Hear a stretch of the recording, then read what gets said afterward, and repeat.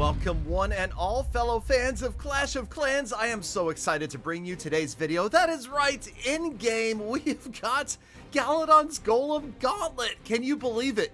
It is true. There it is right there with the big giant creator code symbol. I have created a challenge for you, my fellow Clasher, to attempt to defeat. And okay, it shouldn't be that hard. This is actually my first live attempt at it since I designed it. And what I'm going to do is kind of walk you through the way I defeat it and of course say thank you guys so much. If you weren't subscribing to the channel, if you weren't watching the live streams, then this never would have happened. Nearly nine years of content creating, and here we are. Galadon's Golem Gauntlet in the game. Of course, thank you guys for those of you that are subscribed to the channel. If you get a chance, turn on notifications, leave a like, maybe even a comment for the YouTube algorithm, and uh, let me get into this. So this first attempt, I will tell you, was was not quite a success, and this was generally the idea. The idea was this should be hard enough that it'll be a challenge, but easy enough that most everybody can complete it. And if you would really like to see a slightly more in-depth look into the creation of Galadon's Golem Gauntlet and what went into putting this together,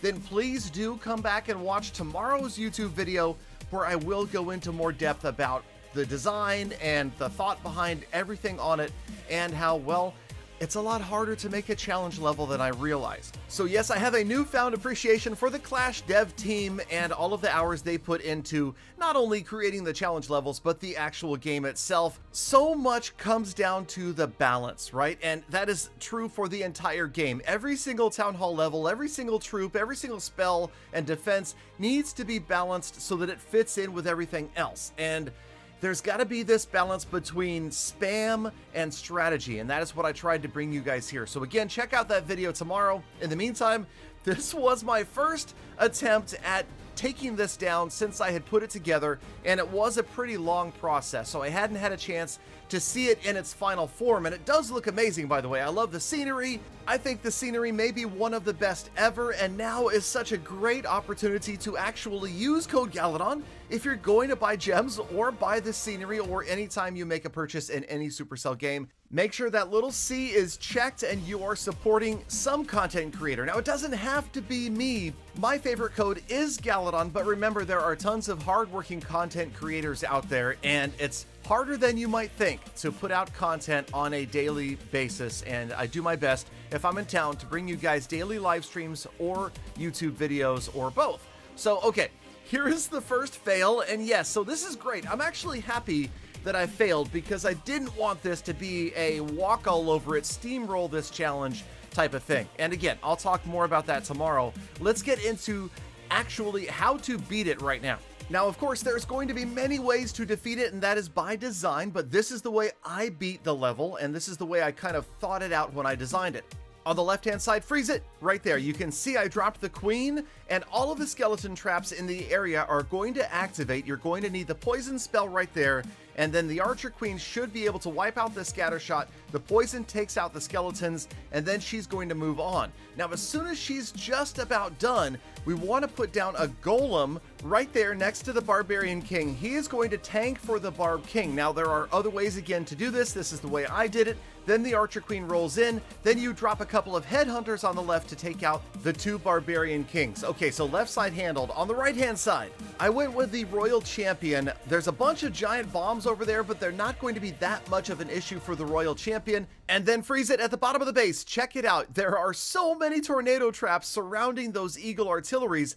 I know it's an expensive way, but if you use your three super wizards, you can trigger every single tornado trap before you send in the golems, the super bowlers, and the regular bowlers from the bottom. So pretty much spamming most everybody else except for the siege machine at the bottom. We're going to freeze it and take a look. Notice the left-hand side kind of funneled by the Archer Queen, the right-hand side kind of funneled by the Royal Champion. So yes, there is elementary funneling going on, and then right up the middle goes everybody, and then it comes down to, you guessed it, spell timing and placement. Out of the clan castle, as we freeze it, comes the Electro Dragon. That was because there is an E-Dragon on the scenery as well. Poison spell for the Electro Dragon. And now, as everybody moves up, you're going to deal with the Gauntlet portion of the scenery. All of those single target infernos are, of course, a golem's worst nightmare, but take a look at the scatter shots surrounded by the four single target infernos. Those are, of course, perfectly frozen by one spell, but it comes down to placement and timing. You got to get that right.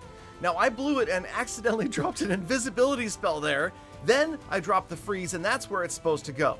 Also notice I've started using the rage spells as the units move up. They're almost always going to be all in that one rage spell, so use those as you move up through the center. You've got a ton of freeze spells, so make sure you use them to freeze the Town Hall and the single target infernos as you need, and then get ready the Warden ability, of course, as the Town Hall goes down. This is called Galadon's Golem Gauntlet because the idea is there's this gauntlet right in the middle that you just can't avoid. You gotta go through it with your golems. They are going to make it, use your spells, and then get ready for the Stone Slammer right there. Okay, see where I put the Stone Slammer? If you look at those X-bows, this is easy. This is a big hint right here. Four of those six X-bows, the four on the left, are pointed to the ground only. So the idea is bring in the Stone Slammer from the left but make sure you drop it a little early so that the ground X-bows are going to get wiped out and the air X-bows are not going to take it down. We're almost done. You're using your freezes and your invis right as we get through that town hall and on those last single target infernos, the Teslas, maybe the X-bows, the barbarian kings even,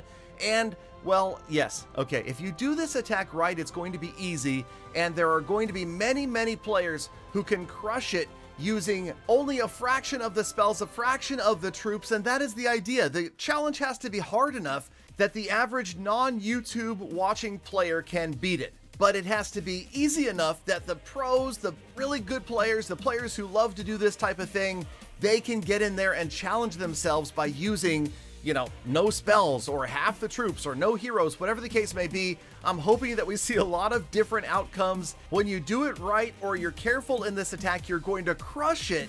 Yet, I also would rather players not just be able to spam everything in one spot and win. Although that does happen, it's almost unavoidable. It's hard to strike that balance between strategy and spam. I hope that I have sort of here and I hope that you guys have fun beating the challenge. I had so much fun making it. I hope that you guys come back and check out tomorrow's video on the making of Galadon's Golem Gauntlet. And I just wanted to say one more time, thank you one and all for helping me get here. I never imagined the first day that I uploaded a YouTube video that this would become my career for the next 10 years, but here we are almost in year number 10. Thank you sincerely again, fellow fans of Clash of Clans. Now get out there, make the best of the rest of your day, week, month, and year. Be kind to other people, animals, and the planet, and I hope to see every last one of you back here again tomorrow for more Galadon's Golem Gauntlet.